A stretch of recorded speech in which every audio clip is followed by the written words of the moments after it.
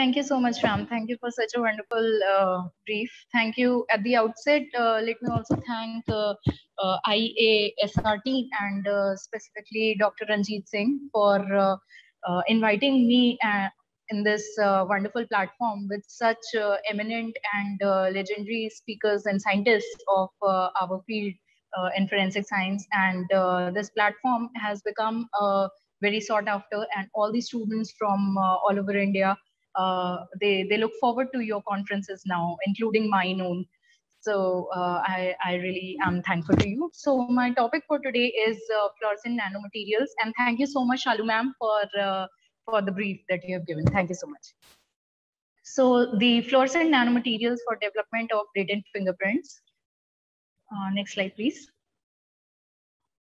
So nanotechnology and forensic science. So uh, in earlier times, forensic science, uh, even today, most often than not, we see that uh, we use the uh, regular chemical and physical methods for uh, uh, identification and individualization of the evidences, and that nanotechnology is still not being used as much as it should have been in the field of forensics. So the scope of nanotechnology is much wider than uh, what we assume it to be. And uh, however, its use in forensic science is, uh, is still less explored as uh, we have been seeing in previous uh, talks. So some of the commonly used materials, uh, the nanomaterials that we can use in forensic science are nanoparticles, nanocrystals, quantum dots, nanocomposites, nanobelts, nanoclusters, nanorods, nanotubes, and many more. Uh, at this point only, I would also want to share that uh, one of our research paper with the, my uh, few research scholars have been uh, accepted. Uh, that is the paper on, on chitosan-based uh, SPR development of fingerprints, latent fingerprints. And there's also one book chapter that is going to be published by De Groote's publication on the on the it, it's a review paper on the nanophosphors emerging materials in the forensic science. So uh, with this, uh, that only uh, drove me into uh, into uh, doing much research into this, although I still am in a very preliminary stages. Uh, yet I'm looking forward to uh, collaborating with uh, all such uh, big names uh, who have had previously a good experience in nanotechnology. So the role of nanomaterials in forensic science, it starts with nanoparticles, nanosensors, nanophosphors, quantum dots, and the upconversion uh, upconversion nanomaterials and how it how it can be combined with forensic science could be in various fields of forensics like fingerprints like uh, palynology like uh, microbial forensics uh, pathology ballistics and question documents even. So the applications that already have been uh, uh, incorporated through nanotechnology into forensic science are mostly in the latent fingerprint development. Then there's also DNA fingerprinting, illicit drug identification, alcohol measurements in the drunk driving cases, explosive uh, detections, nerve gas uh, or the uh, gas explosion cases, uh, biological fluid detections, pigments, identification cases of paints, inks, and question documents, and security features also. Next slide, please. So the application of nanotechnology in forensic science uh, broadly deals with the nanoparticles, sensors, technology, lithography, scanning probe, micro, uh, microscopy, and nanorobotics. When moved to the forensic application, it it deals with or it encompasses the finger mark applications or developments and DNA sequencing, forensic toxicology, drug identification, trace evidence analysis, and fiber and hair analysis. Next slide, please. So how nanoparticles are used in forensic science. So these techniques assist forensic scientists in ways such as by making it possible to analyze the nanoscaled samples so that is one because in the uh, in most of the cases when we reach the scene of crime we do not uh, we we tend to get only the trace element uh, trace evidences there which which are very easily uh, missed by the IO uh, to be collected from the crime scene. But using the methods of uh, uh, the nanosensors, uh, there is a possibility of even collecting such nanoscale samples as well.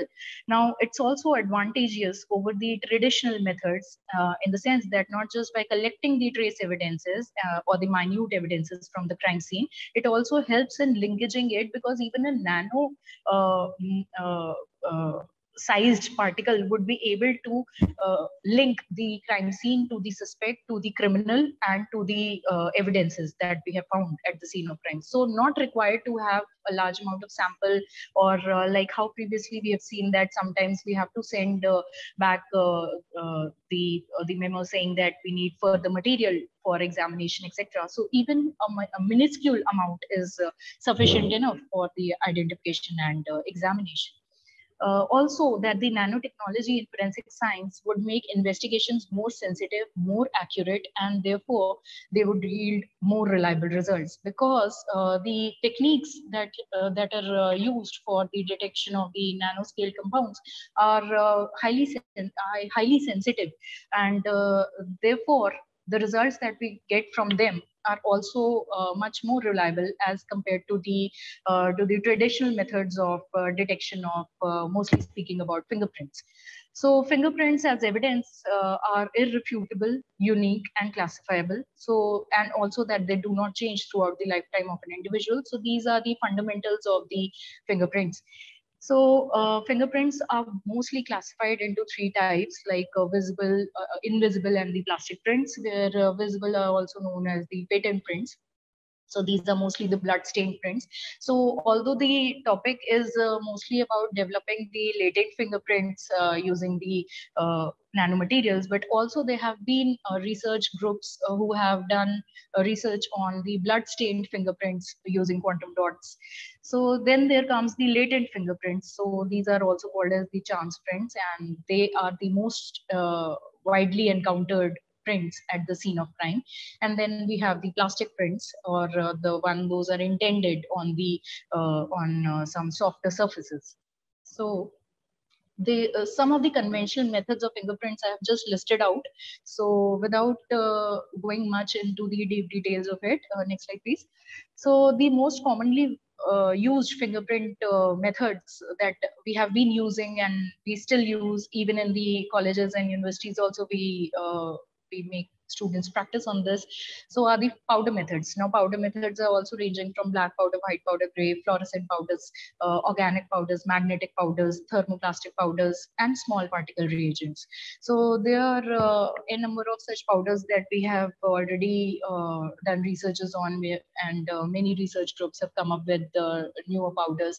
Some groups have also worked on the household conventional powders like uh, turmeric or uh, like cocoa powder and uh, uh, corn flour, etc. And they have also found good results, and the articles have also been published in uh, reputed journals. So apart from these, they also pose, although they have been used uh, in in the uh, in the laboratories as well as in the uh, university still, but all these powders pose some drawbacks because of which the next powder has come into its place and uh, superseded the previous ones. Like for example, the uh, in earlier times we used uh, magnetic powders and normal gray powders, white powders, or black powders. But then came the organic powder because the uh, the the scientists realized that the uh, long-term use of these organic, uh, or sorry, inorganic toxic powders may, may have some harmful effects on the uh, health of the people who are involved in uh, development.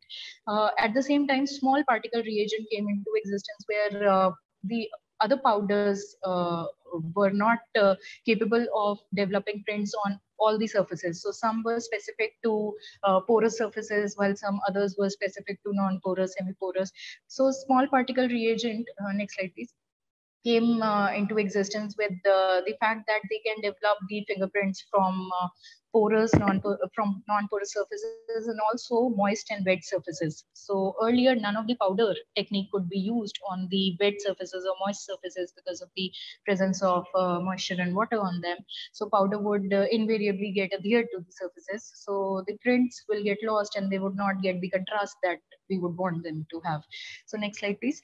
So uh, this is the picture of uh, how the developed uh, fingerprints look like uh, in the various, uh, with by using various powders like black powder, fluorescent powder, thermal powder, white powder, and the magnetic powder.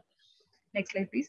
Then we come to iodine fuming, cyanoacrylate fuming. So those were initially uh, that we discussed. The powder methods are also known as the physical methods of development of the latent fingerprints. While now we are discussing the chemical methods that are in use uh, to develop the fingerprints. So the most common ones are the iodine fuming, cyanoacrylate fuming, or what we call it as super glue method, then ninhydrin, and the derivatives of it like 5-MTN, DFO, 1,2-indanedione, and there are many more. So these are also in use. Again, these are chemical methods, but uh, they all have certain advantages. At the same time, they have uh, certain disadvantages or limitations that I can say to them, to each of them. So we the uh, the groups of scientists have come up with uh, newer techniques uh, as the days gone by, gone by. So these are the pictures of the developed prints by cyanoacrylate, then indanedione, then ninhydrin DFO, and uh, iodine fuming. So it's so like for example, let me discuss about silver nitrate only. So it the reaction gets completed only in the presence or uh, uh, when the prints are exposed to the sunlight. So this has one limitation like this. So cases where uh, the, uh, places which are very cold, like uh, where the the probability of getting the sunlight is very scarce, may not be able to use the methods like silver nitrate. Similarly, like iodine fuming, the the fingerprints developed by iodine fuming are uh, not persistent. So they are there for a few seconds or minutes, and then either we can have to have uh, them fixated, or otherwise we have to photograph them. So similarly, amido black, Sudan black, osmium tetroxide, so all these methods uh, are uh, specific to certain uh, certain uh, circumstances. Like for example amido black is used for blood stain prints.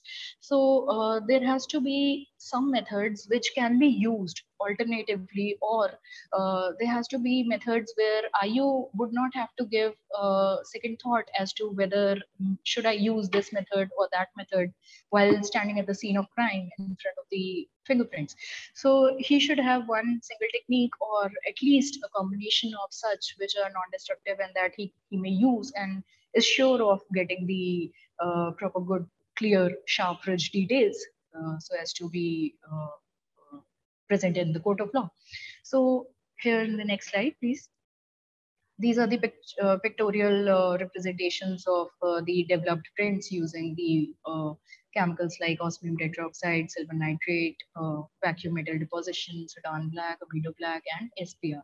So SPR uh, was thought of the technique that was used for uh, widely used on cases of arson, on cases of uh, wet and moist surfaces, on cases uh, where the substrates or uh, weapon of offenses have been found buried under snow or soil.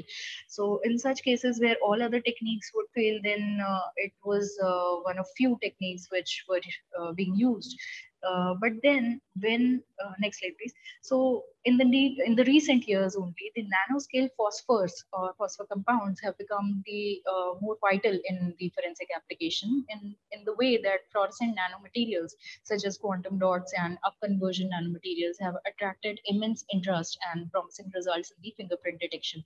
So they have this uh, they have this uh, ability to adhere themselves to the uh, to the sweat components uh, sweat residues so even if the uh, fingerprint is uh, not fresh or even if uh, it is aged fingerprint then also we have the chances of developing that using the nanophosphors and quantum dots.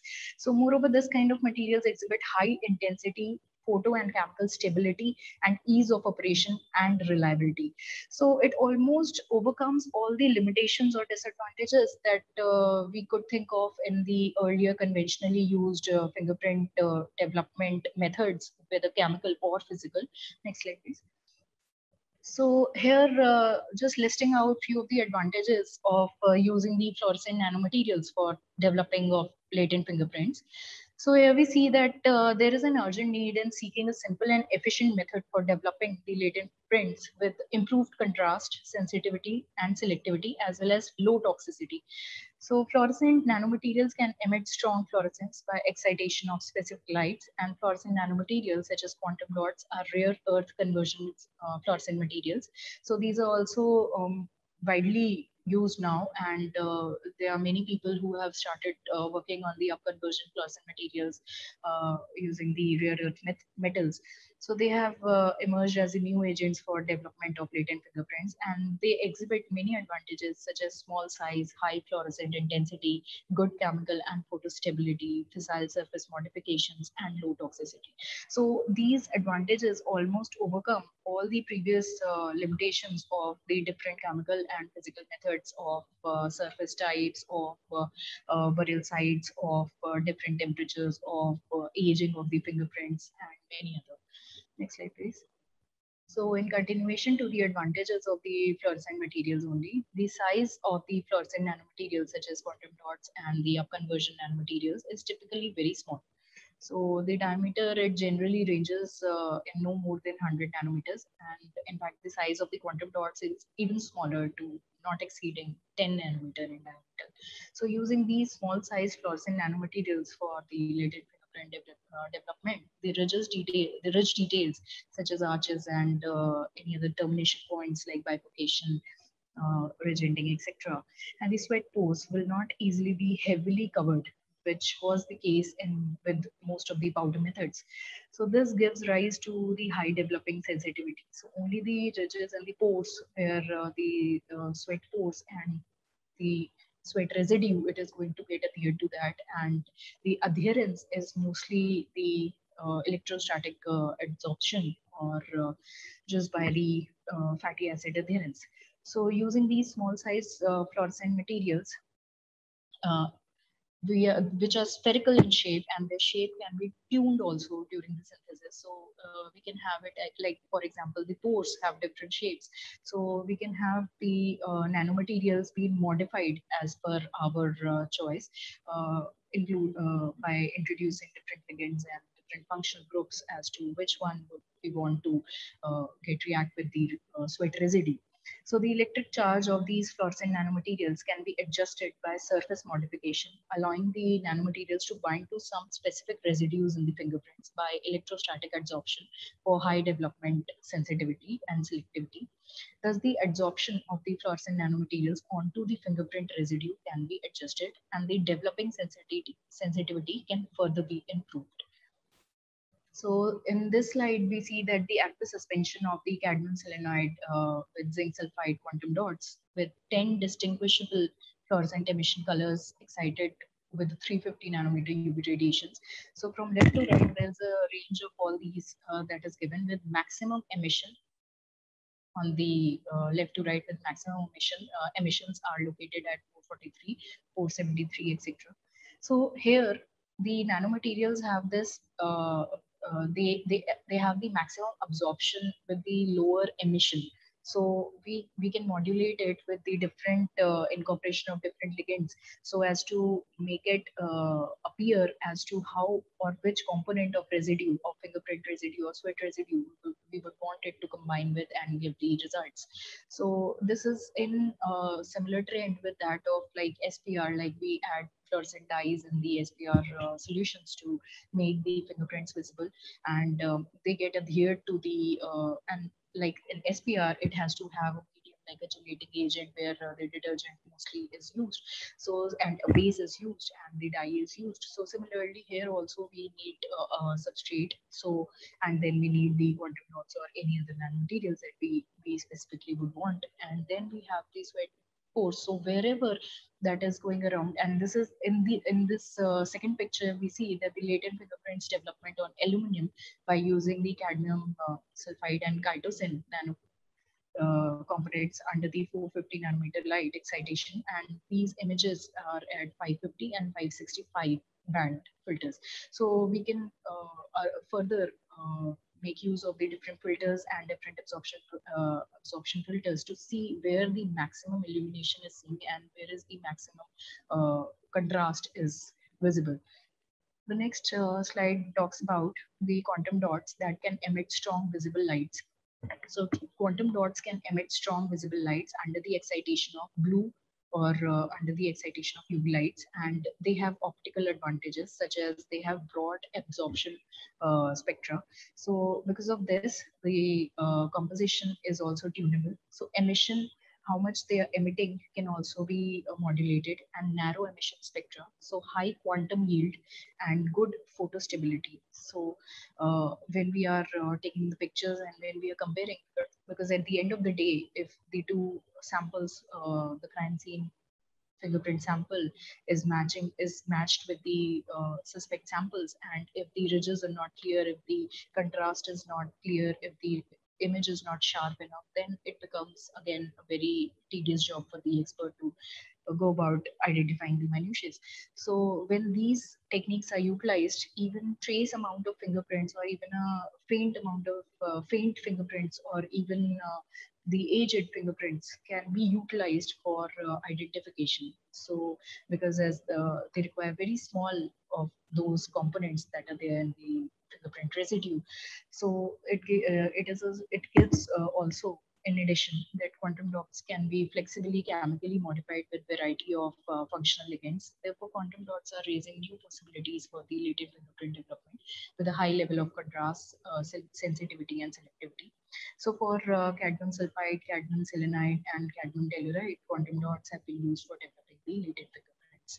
So there's uh, there's one research uh, group that is working here in MT also in uh, uh, in collaboration with physics uh, division where we are uh, making use of these in identification and development of fingerprints.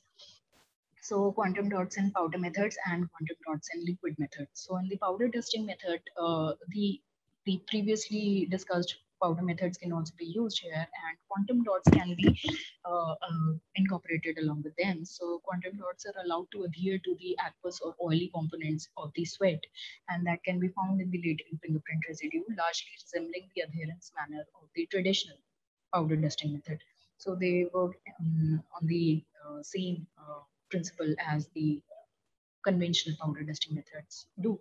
So the adsorption interaction between the quantum dots and the latent fingerprints depends upon the physical adsorption and the electrostatic attraction. Also, it depends upon the surface type where the where the fingerprint is and also the the temperature uh, of that place where the fingerprints are. So the binding would be how how strong the interaction would be that has uh, different factors. That say, supposing if a substrate was buried under snow and that has been recovered and uh, no other uh, possible method could be used to identify the fingerprints on that. But then here, the quantum dot and liquid method may be used. So uh, we have to be very judicious in applying where exactly we want, not just blindly following that uh, now that uh, nanotechnology and forensic science is there. So we apply all the nanomaterials induced uh, fingerprint powders for development. We still can uh, combine them with the with the conventional powder methods or conventional methods of fingerprint development. Then in uh, liquid method, we have the absorption, uh, the absorption interaction between the quantum dots are uh, often modified by various specific ligands with functional groups. Oftentimes, the prints are pre-treated with these solvents like cyanoacrylate, estopiones, and likes. So sometimes just before the prints are uh, exposed to the nanomaterials, we first uh, give them a pre-treatment, pre-fuming. So here the sweat is when they come in contact with the nanoparticles, they form this colored complex. So next slide, please. Quantum dots used for uh, developing the blood blood stained fingerprints. So now quantum dots not just have been used in developing the latent fingerprints, but blood stained prints are patent prints and they have also been used in uh, identification of uh, them. So this method is based on the adherence of the quantum dots to certain components in blood such as hemoglobin and to increase the interaction of the quantum dots are often modified by various specific ligands and functional groups. So thi thioglycolic acid uh, modified cadmium telluride quantum dots nanoparticles have been used to develop the blood fingerprints deposited on various non-porous surfaces including transparent uh, polypropylene and black polypropylene glass and aluminum foil. So there, there are a few researches that have uh, taken place in the past and uh, uh, the scientist groups have identified the use of uh, quantum dots in even developing the latent and uh, bloodstained prints. So the, in this method, this method is very similar uh, with SPR method where the it involves the first the immersion of the bloodstained prints in the aqua solution of 5 sulfur uh, salicylic acid for 10 minutes and then they briefly rinse it with water and finally the front prints will be immersed uh, in the nanoparticle aqua solution of uh, 3.5 pH for 20 minutes and whatever excess is there will be removed by rinsing it gently with water for two to three minutes. So the fingerprints uh, then become exposed or then become uh, uh, they fluoresce with the nanoparticles that are there and the nanoparticles get adhered to the uh, to the regions and the components that uh, the print residues where uh, it is it has got binded with. So here again, a surfactant is needed, like any detergent or any surfactant may be used, and that actually acts as a as a binding agent that acts as a ligand, as a gelatin agent for the fingerprint residue, sweat residue, and the uh, nanomaterials. So now we conclude that as we have been using the traditional or uh, conventional methods for developing the latent fingerprints for seams using powder dusting method, relate, fuming, silver nitrate method, ninhydrin method, DFO, and small particle reagents. But we also accept that they come with certain disadvantages which have been overcome uh, in recent years by using quantum dots and nanomaterials. So I think uh, it is a very new field uh, nanomaterial forensic science and it, it has a lot of lot of scope and it is only a matter of time how uh, we would just overcome the uh, the shortcomings or the limitations of uh, the previous techniques and we can come up with uh, techniques which the IOs may be able to use at the end of the day at the crime scene without even thinking twice whether they should go with this chemical or this powder or whatever and they can just blindly go with one and that they are sure of getting the best results. So I thank you all for